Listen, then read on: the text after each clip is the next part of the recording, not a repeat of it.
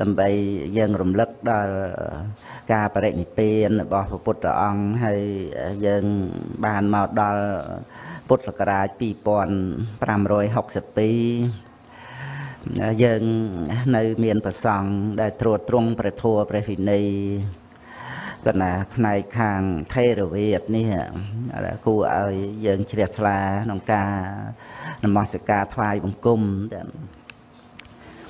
សម្រាប់ពុទ្ធបរិស័ទដែលបានជ្រាបដឹងអំពីការប្រព្រឹត្តបប្រតិបត្តិត្រួតត្រងនៅក្នុងព្រះវិន័យត្រៃសិក្ខាហ្នឹងគឺវឹកខាត់អប់រំតែអត់មានឧបនិស្ស័យមកប្រព្រឹត្តទៅមិនបានទេ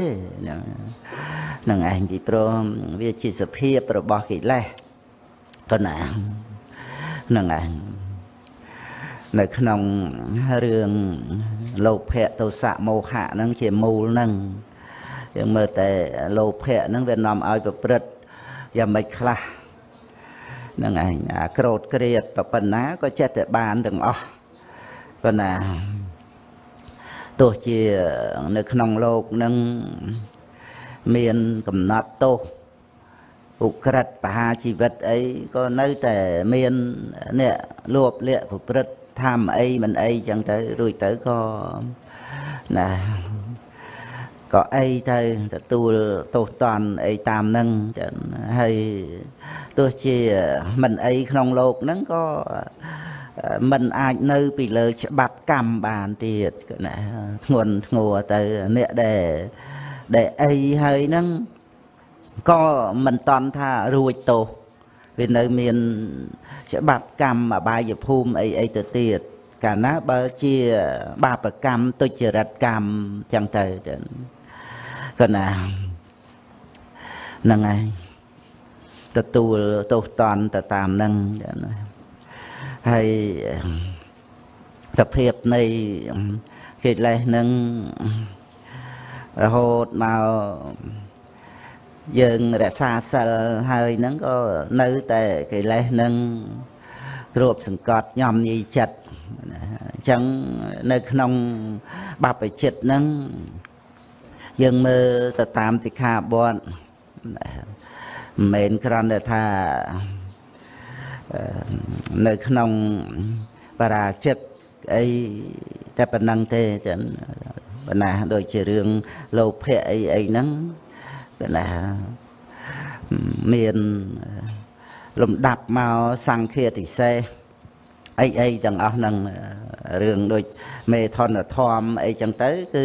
បរាជិកទៅប៉ុន្តែមិនដល់ហ្នឹងក៏អត់បានកណាហ្នឹងឯងវានៅក្នុងត្រឹមអាបត្តិ សង្ឃាតិសេសវាមកនៅ ក្នុងអាបត្តិថលច័យ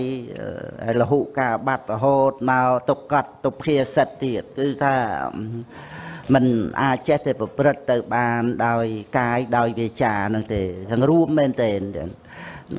គ្រាន់តែប្របាទទីមកប្រសង្វរៈហើយនៅ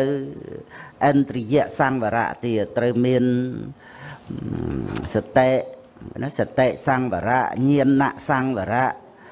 ខន្តិសង្វរៈវិរិយៈសង្វរៈជាមួយនឹងសីលសង្វរៈនឹងបិទទ្វាទាំង6សង្រួមទ្វា8ទៀត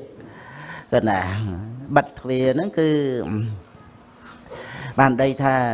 សង្វរៈហ្នឹងវាប្រព្រឹត្តទៅ ក្នុងជីវ័នជីវ័នតាមទ្វាទាំង6តែប្រព្រឹត្តទៅ ក្នុងជីវ័នហើយវាអត់មានអកុសលអីចូលបានទេហើយយើង គ្រាន់តែស្ដាប់ការប្រៀបធៀបដើម្បីឲ្យយើងមកចូលចិត្តឡើងជាមួយនឹងការសង្រួមទ្វា6ហ្នឹងប្រៀបដូចជាយើងបិទទ្វាផ្ទះអញ្ចឹង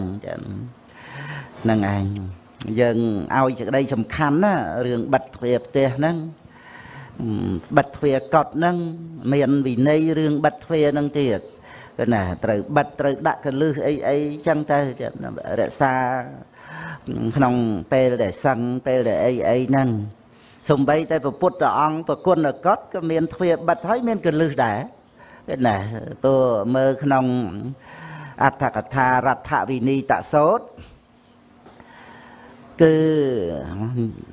ព្រះអង្គទ្រង់ជ្រាបថាព្រះបណ្ណៈមន្តានីបុត្រនឹងត្រូវមកគាល់ព្រះអង្គណាដូចជាមេតបដែលឈ្នះសង្គ្រាមហើយឡើងគាល់ព្រះរាជាអញ្ចឹង ព្រះដែលមានពុភៈព្រះអង្គគ្រាន់តែបិទសន្លឹកទ្វារតែមិនដាក់កន្លឹះណាអានឹងជាការបញ្ជាក់ឲ្យឃើញថាប្រគុណកតព្រះពុទ្ធអង្គក៏មានកន្លឹះក៏ណាហ្នឹងឯងហើយព្រះបណ្ណៈមុនមកគឺក្នុងភាពដែលព្រះអង្គជាព្រះអរហន្ត ហើយក្នុងព្រះថាលោកបញ្ជាក់ថាដូចជាមេតបឈ្នះសង្គ្រាមឡើងគាល់បរិជាគឺជារឿងដែលដែលដែលល្អល្អអានឹងគ្រាន់តែប្រៀបខាងក្រៅប៉ុន្តែការដែលឈ្នះសង្គ្រាមកិលេសនេះគឺកបបតីពុទ្ធអង្គណាព្រះបណ្ណៈអត់មានញញើតអីថាមិនហ៊ានគាល់ព្រះអង្គអីចេះចោះ ពីព្រោះកាលដែលលោកនៅមានកិលេសព្រះអញ្ញាកោនដេញញាក់ដែលជាលោកអ៊ំពវល់មុនមកអត់មកទេហ្នឹងឯងពីព្រោះរង្គៀសដែលនៅមានកិលេសទៅគាល់ព្រះអង្គចាំដល់ពេលអស់កិលេសហើយហ្នឹងហើយមិនមកគាល់ជាមួយនឹងភិក្ខុសង្ឃ ដែលនៅជាមួយប្រមាណ500អង្គនឹងបញ្ជូនភិក្ខុសង្ឃមកគាល់ព្រះអង្គនៅឯ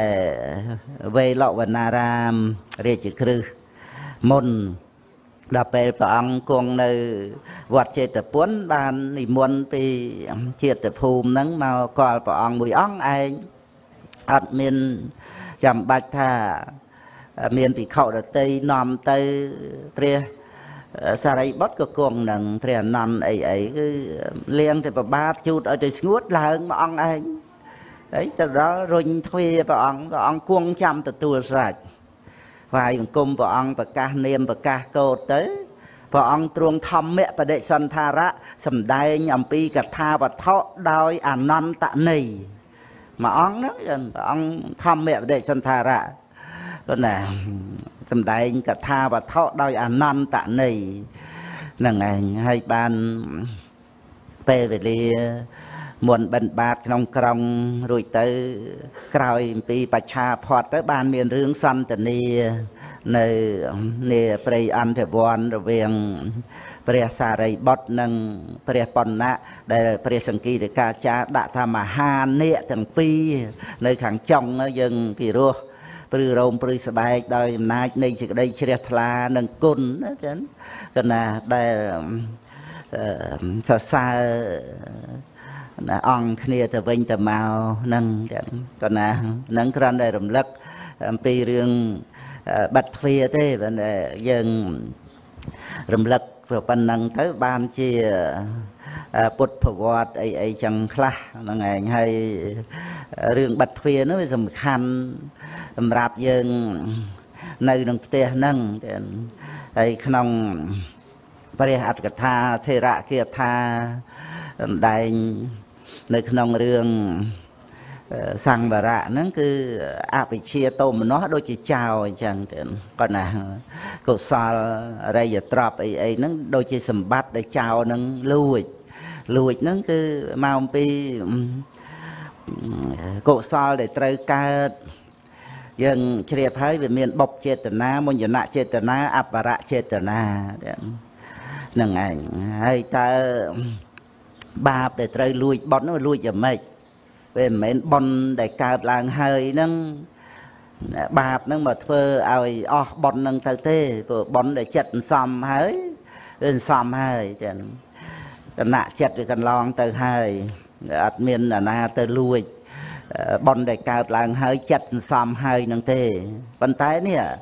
ដូចជាអបរៈចេតនាអបរាបរៈអីដែលត្រូវត្រេកអរកើតឡើងតាមក្រោយនេះវាអត់បានកើតនឹងឯងដោយអំណាចនៃអកុសលនឹងរបៀបដូចជារឿង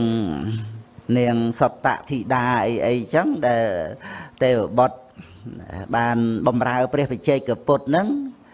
បុណ្យកុសលនឹងអាចឲ្យទៅកម្មទេវលោកជាន់ខ្ពស់បានប៉ុន្តែមកកើតត្រឹមរុក្ខទេវតា ទេវបុត្ររឿងជាមួយនាងសុលសាអីហ្នឹងក៏ដូចគ្នាអាហ្នឹងគឺដោយសារអាអបរៈចេតនាហ្នឹងវា មិនបានបនកុសលបង្គ្រប់ពេញលេញដែលត្រូវត្រេកអរតាមក្រោយហ្នឹងរវល់តែមានចិត្តស្រឡាញ់នាងសុរសារវល់តែមានចិត្តស្រឡាញ់នាងសត្តធីតាដល់អញ្ចឹងទៅអបរៈចេតនាវាអត់គ្រប់ប្រមូលទៅបានកើតត្រឹមតែរុក្ខទេវតា